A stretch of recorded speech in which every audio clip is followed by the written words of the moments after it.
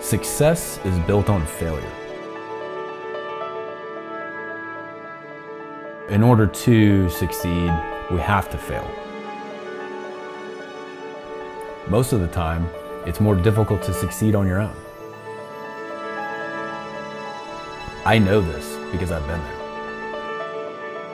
there. It takes a community.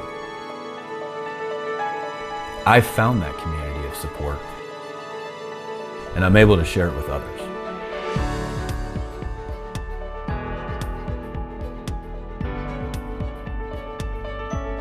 I'm TJ.